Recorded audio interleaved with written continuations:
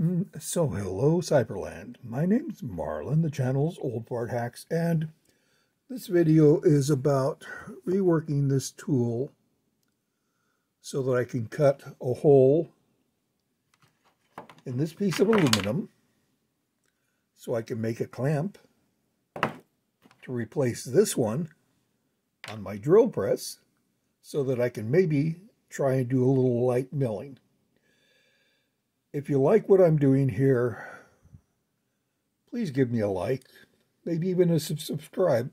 Normally I don't put this at the very front of things, but frankly, I screwed up and have been filming over this over the last couple of months because of other problems, and so I never got the introduction correct. But anyway, on to the real videos. Okay, so right now we're going to grind out a new tool bit for this thing because this thing, as you can see, is not even on axis. It just doesn't cut. It's back scraping and that just doesn't work. Um, I'm not going to have you sit here and watch me grind that out. First of all, it's going to take a long time. Secondly, um, I could I need to be able to see a little better. And thirdly, you don't want to listen to grinding for 20 minutes, so I'll bring you back as soon as I get this roughed out at least, and I'll, I may show you a couple, three steps here. See you in a few. Okay. Let me turn on the little light here. That's now been ground a bit. I know it's kind of hard to see exactly what's going on here. Well, that helps. But anyway, we now have a hook that should actually cut into the aluminum. Time will tell. Um, I mean, it's going to be worth a try. It's certainly better than what was there. So let me put it all back together and then stick it in the drill press and see how badly this chatters. See you in a bit. So does it actually cut? Let's find out.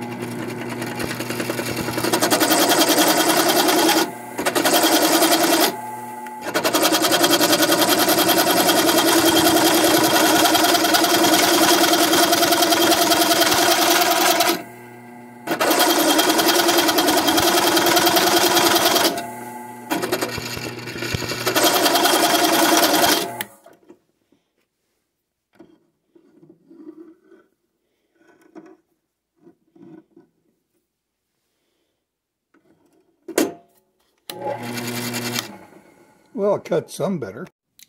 So anyway, here's the final result. By recutting this bit, I was able to get a good cutting surface. It actually did take reasonable chips out.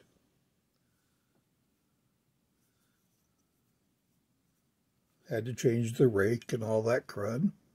But anyway, it worked. And we'll set that stage right. This is the cord that ended up coming out. I'll find some use for that. Flying saucer, perhaps. Ooh. Anyway. Yeah.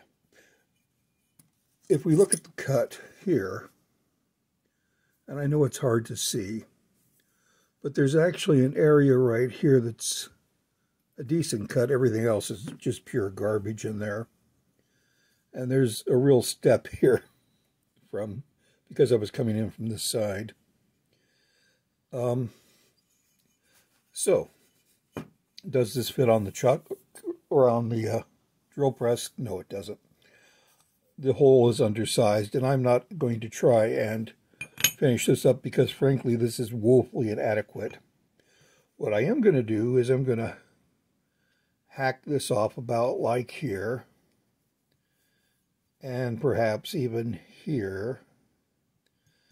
And then I'm going to set up on my lathe a four-jaw chuck that I just bought. That I don't know if it fits the lathe yet or not. That's going to be another fun thing. In fact, I'll run a video on that because there's, I'm sure, some interest out there in what chucks are available, for the uh, Vevor mini lathes, I, and which then, of course, makes it up to all of the 7x14, 7x12, 7x14 mini lathes. And once I've got that done, then I'll chuck up this and center up on that smooth section right there. I'll dial that in on the four-jaw. And then I'll bore this out to the right diameter. Then I'll proceed to cut out what I'm planning here, which is this is offset a bit. It comes in at, the side will be flat. I'll cut around this in the long run with a hacksaw and whack the thing out to get to where I want to go. But anyway, that's what, oops, sorry about that. That's what's happening with this project. And as a thought, the uh, Chinese XY table on a drill press, the Chinese XY table is actually better than the drill press of all things. And so, do I recommend that table? Yeah, I kind of do. It takes a lot of work to get it reasonable, but once you get it reasonable, it's good for basic work if you've got something to work with it. As a precise drilling fixture, it's excellent as a precise drilling fixture. Anyway, so thanks for watching. If you like, give me a like if you would, please. And I'd love a subscribe. And I hope everything goes well with your life. Bye.